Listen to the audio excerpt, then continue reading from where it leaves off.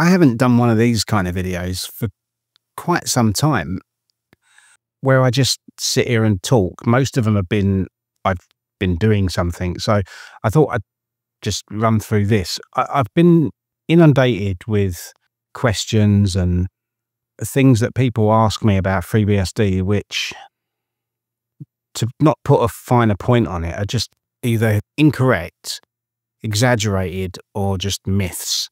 So I had a bit of a, a Google search and come up with, um, well, something that um, Klara Systems wrote. And I've got to be honest, I agree with most of it. I'm going to go through it because it's it's quite relevant, especially today in 2024. So this is five myths about FreeBSD.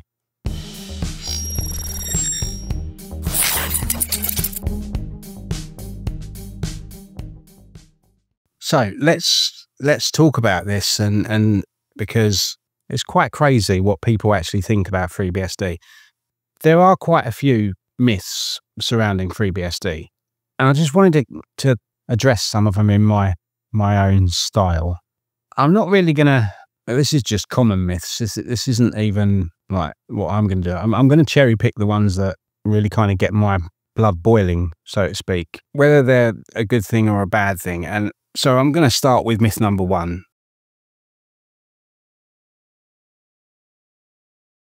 Hardware support on FreeBSD is not great. It is and it isn't. What do I mean by that? Well, I have not come across any hardware that doesn't run FreeBSD, but I've heard of people coming across that issue, and I, I know that there are issues with Wi-Fi cards. I also know they're in development. They're they're actively working on that. But until uh, I'm not a fan of Wi-Fi, I make no secret of that. I prefer cables, and you look at my desk, and you'd know that I don't like Wi-Fi. I think it's slow. I think it's insecure. I just don't like it. But in the modern world, Wi-Fi is here. It's here to stay, and we have to embrace it. Now, I'm not going to embrace it. It's just not one of those things. I'm going to support it, and I'll put Wi-Fi in in my house purely for my phone and for various other devices in this house in this room, apart from my phone, no Wi Fi. I don't use Wi Fi devices in here. I just don't. And as I say, I have not come across any hardware that doesn't run FreeBSD, whether that be when my desktop was new, so Ryzen 2600 with an Asus motherboard and a GTX 1060 Ti graphics card. It's not new hardware by today's standards, but when I got it, it was brand new and moving to Ryzen was quite a big deal and FreeBSD ran on it straight away. I never found an issue. I've never come across an issue apart from Wi-Fi, which I don't generally use on FreeBSD at all. Take what you want from that take it with a pinch of salt. I find that almost everything runs on FreeBSD apart from Wi-Fi cards. That's my take on it. Let's move on to the next one. Myth number two.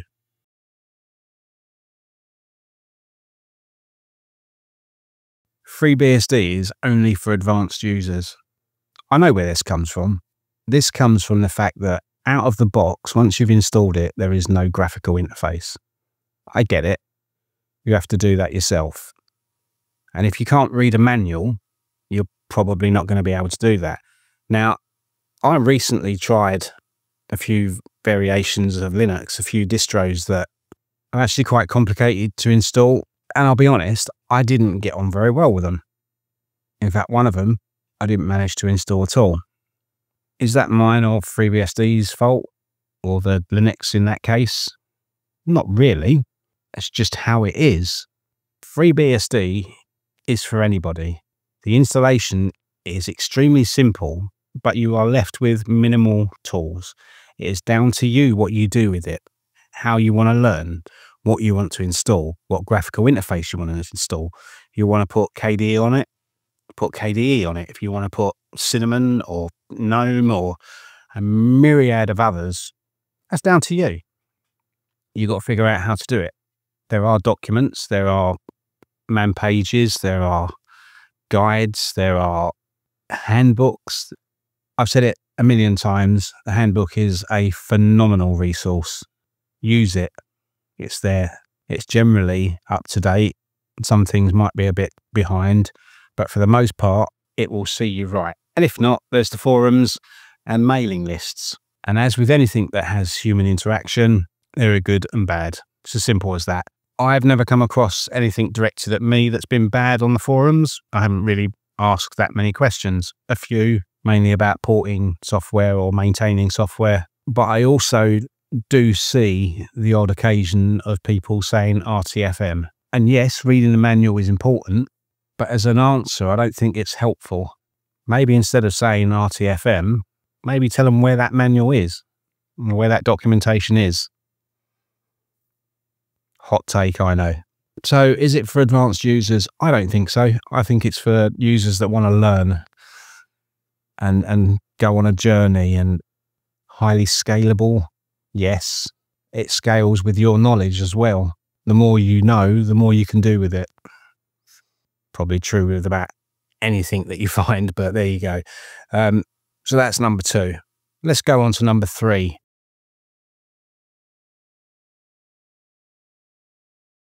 Yeah, this one. Oh. As an advocate for FreeBSD, this one drives me up the wall. And it always has. And I don't really know why, because it's just a small, a small Google search and you'll, you'll find this is just not the case. And you'll find it anywhere. And that's that FreeBSD is not used by major corporations. Sony, Netflix, Google at one point, Cisco, Juniper, NetApp. Most companies that have products that are based on needing reliable networking will have at least looked at FreeBSD as their starting point. We're well aware of the, the shared foundations of macOS and FreeBSD. So Apple as well, you can include in that list. And for the people that don't know, and the gamers out there, if you use a, a PlayStation, chances are you're using FreeBSD right now highly modified, of course. And that's the beauty of FreeBSD's license is that you can do that and then you can market it and sell it however you want. I'm not going to get into any licensing stuff because hot potato. I just, I don't want to. I, I, I'm not a lawyer. I'm not a solicitor. It's just, I, I wouldn't even know where to begin with that. So I'm not even going to go down that route. There are differences in the FreeBSD and the GNU license, of course it's well publicized. A quick Google search will let you know. Don't Google everything, otherwise, there's no point for my videos. What was that? Number three? Let's go to number four.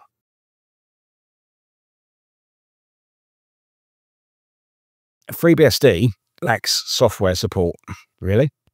Apart from things that are, are specifically built into Linux, like containers, um, and a, a few very niche things most of the software that you can get on Linux and to a certain extent Windows and Mac OS, you can get on FreeBSD. You go through the, the collection of ports and it's massive. In fact, let's have a quick look and see how many ports there are at the moment. September of 2024, there were 36,504 pieces of software in, in the FreeBSD ports and packages collection. That's massive. yeah, boy. 38,000 pieces of software. That's interesting. There were 38,000 in February 2020 and then 36,000 in September 24. I'm assuming a lot of that is just deprecated and been removed.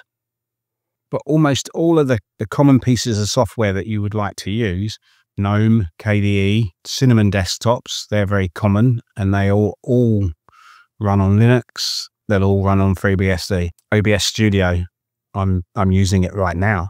I'm using it as, as my camera monitor that runs on FreeBSD extremely well. There is a lot of software. There are some notable exceptions. DaVinci Resolve, not available for FreeBSD, which is a shame. That would be brilliant to have that. It's one of the things that stops me from moving to FreeBSD full time. Is a decent video editor, and yes, I know there are there are some linear editors, but they don't have the, the, the feature set that I like to use. So to me, it's not quite ready. There's a lot of software, but it's not quite prime time. So what number are we on now? Was that three or four? I think that was four, wasn't it?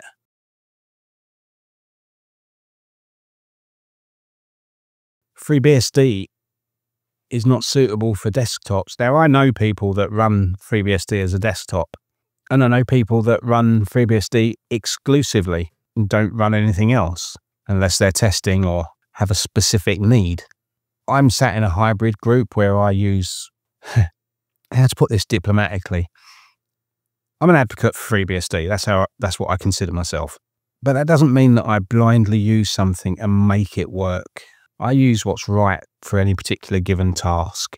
For the majority of my tasks, as a desktop, Windows is the correct decision to use. On my servers, exclusively is FreeBSD.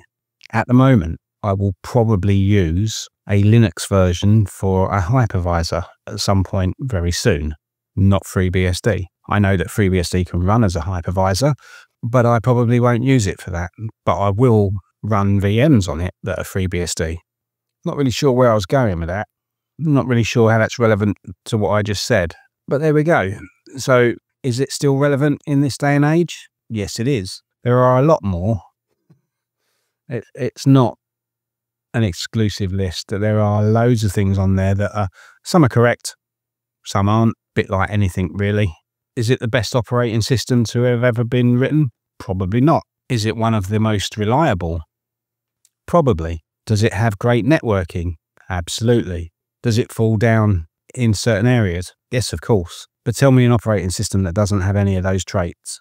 Linux has issues, Mac OS has issues, Windows has issues they also have some benefits. The thing that is encouraging with FreeBSD is that the developers and the core team and the FreeBSD Foundation are all very aware of where their, their opportunities lie. They know what they need to do to improve. Can't ask for more than that.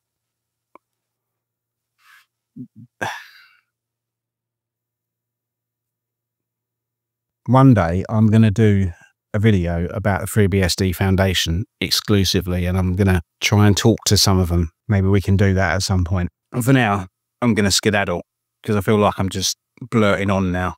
Don't forget to do all the things down there like, comment, share, subscribe, and the Discord server link down there as well. Let me know if it's worth keeping that open. I still haven't really had any answers. And uh, I'll see you in the next video. See you later.